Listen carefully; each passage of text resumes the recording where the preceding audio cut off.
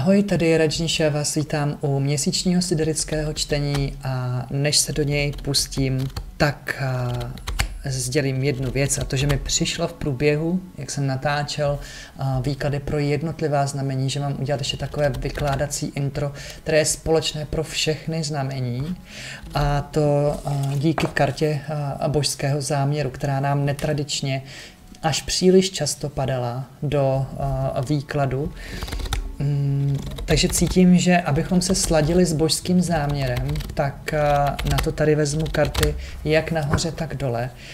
A podíváme se, jak se máme sladit s božským záměrem, aby to, co se odhalovalo v těch jednotlivých čteních, se buď nemuselo stát, nebo bychom se tomu mohli nějak eventuálně vyhnout.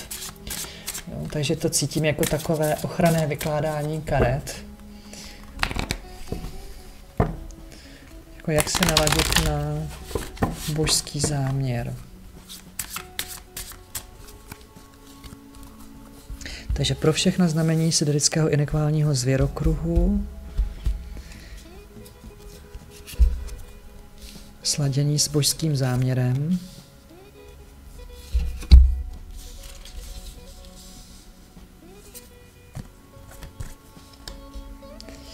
Tak, volba jezero, konzílium, správné načasování. Volba.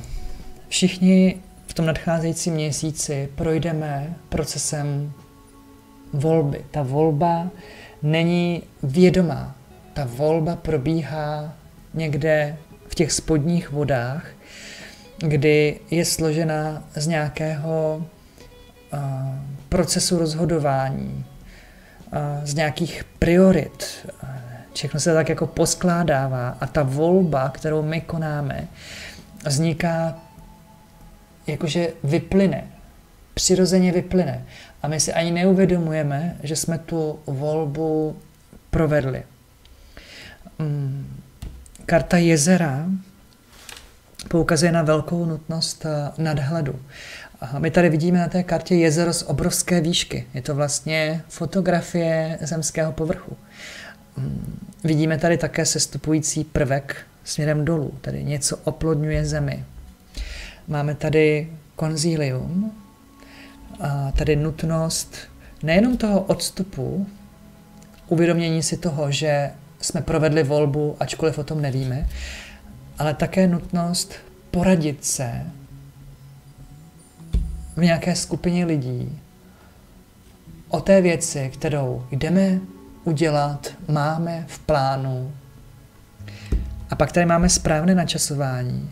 Tady máme ještě po té poradě s těmi ostatními, po té, co jsme získali nějaký nadhled, po té, co jsme si uvědomili, že jsme došli k nějaké volbě, tak máme ještě počkat na správné načasování. To bylo také hodně cítit v těchto výkladech, které jsem pro vás připravoval, že chcete spoustu věcí protlačit na silu velmi rychle do konce roku. A nejlíp v tom, v tom nadcházejícím měsíci. A, takže teď nemáte tlačit, máte počkat a, v určitém fázi hibernace a, v tom, jak to je. Nemáte vlastně rozhodovat, máte počkat s tím, až ty věci vykrystalizují sami, třeba na jaře. A během té doby se máte snažit o ten nadhled a o to poradit se s lidmi, kteří vám jsou nějakým způsobem blízcí. Tím vy, chce se mi říct, potvrdíte božský záměr. A božský záměr po vás totiž chce tento druh energie. A když se mi tady přilepila tahle ruka, eh, ta, ta ruka na tu kartu, tak eh, poslední kartu máme čtenáře a tam mi říká, radši si vem do ruky knížku, než aby si teď šel honem něco dokončovat, zběsile, honem rychle, rychle, rychle. Pokorné mytí nohou, zastav se, poděkuj za to, co máš a pomoc druhému, pokud tě o to požádá.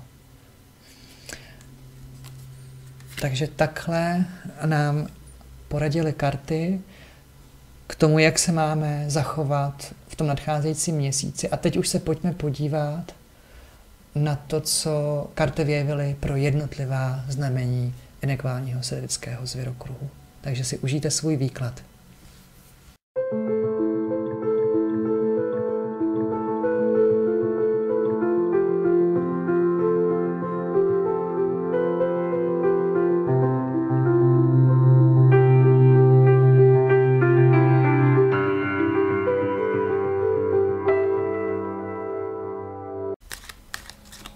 Zdravím všechny měsíční ryby. Vítám vás u vašeho středeckého měsíčního čtení. A já už se tady míchám kartičky a podíváme se na to, co vás čeká. Co je důležité, co máte vědět pro ten nadcházející měsíc.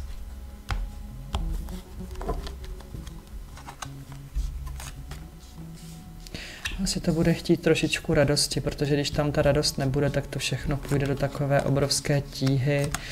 Um, I radost pro vás může být uh, klíčem z toho osvobodit se od nějakých uh, starých věcí, ve kterých už uh, nechcete být. Um, vaším klíčovým momentem je jako uvést věci do takové jako rovnováhy. Máme tady kartu mírnosti a já se potřebuji radovat té situaci, ve které jsem, v okolnostích, ve, které, ve kterých jsem, ale nemám je vlastně nějak měnit. Mám se postarat o jenom takovou uh, rovnováhu.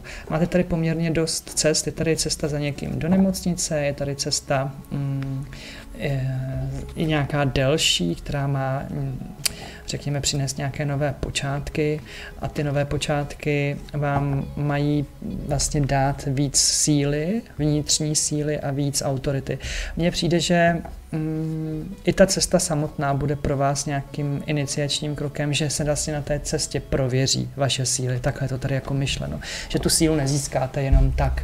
Jo, ta síla prostě bude vyburcovaná z vnějšku. Je tady vidět také to, že tu oscilujete mezi takovou tou radostí, spíš radostností a rozladěním a vy si vždycky můžete vybrat. Tady ty karty vám pro tenhle měsíc říkají, že mm, máte volit adekvátně k situaci. Pokud jsem tady hovořil o nějaké nemocnici, o cestě do nemocnice, tak je to tady spojené s tím, že si tam můžu ano dovolit pocit rozladění. No tak to jsem teda nečekal, jako, že, tam, že se tam dostanu, nebo to jsem nečekal, že se stane tohle a, a moc mě to mrzí. Um, Není to tady vstaženo přímo k vám, ta, ta nemocnice. Samozřejmě pro některé to tak může být, pro některé to bude znamenat, že navštíví někoho v nemocnici, pro někoho to bude znamenat, že někdo z rodiny bude v nemocnici, pro někoho, že pojede s dítětem do nemocnice. Je toho tady trošičku jako uh, víc, co se týče těch variant, uh, ale neberu to jako uh, definitivní věžbu, spíš jako takový ukazatel. Uh, tam by k tomu došlo přirozenou cestou. Není to nic překvapivého, a přišlo by to vývojem té situace, jo? není to třeba jako ne, nehoda, nebo tak, to ne. Mm, co tady ještě uh, dál vidím?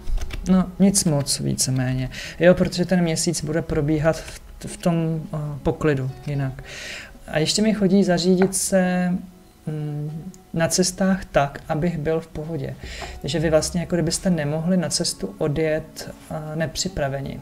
Jo, jako kdybyste si všechno měli dopředu promyslet, co všechno s sebou, když bude špatný počasí, když se mi neudělá dobře, um, když se změní okolnosti, jako myslet na všechno. Ten vůz mi tady říká, že se mám telepaticky napojit na nějaké možnosti, které se mohou stát, jako kdybych vstoupil do nějakého uh, kvantového pole možností té cesty a já tam uh, potřeboval vyzískat všechny Mm, důležité eh, informace.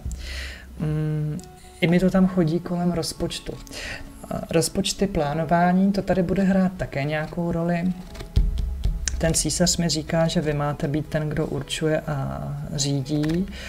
A pro někoho z vás tady je ještě, že vy vlastně jedete za někým, za nějakým mužem. Ale pokud vyrazíte za nějakým mužem, tenhle ten muž na vás bude spíš napojený obchodně, že ho budete chtít o něčem přesvědčit. Ale nicméně vaše cesta by neměla být jako neměla by mít jeden účel. Neměla by mít účel v podobě návštěvy toho muže.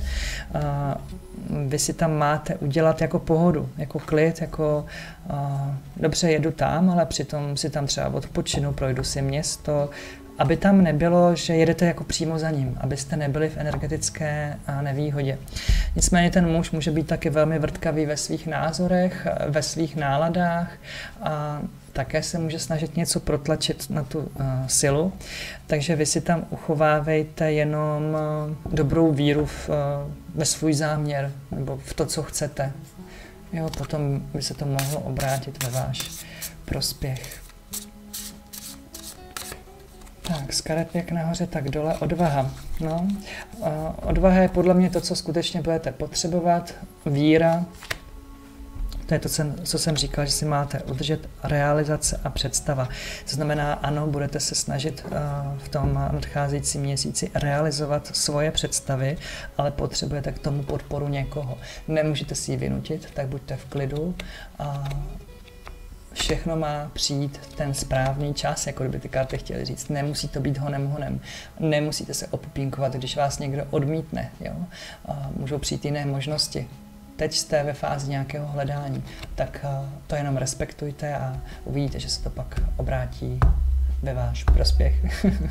no a já se budu těšit příště. Papa. Pa.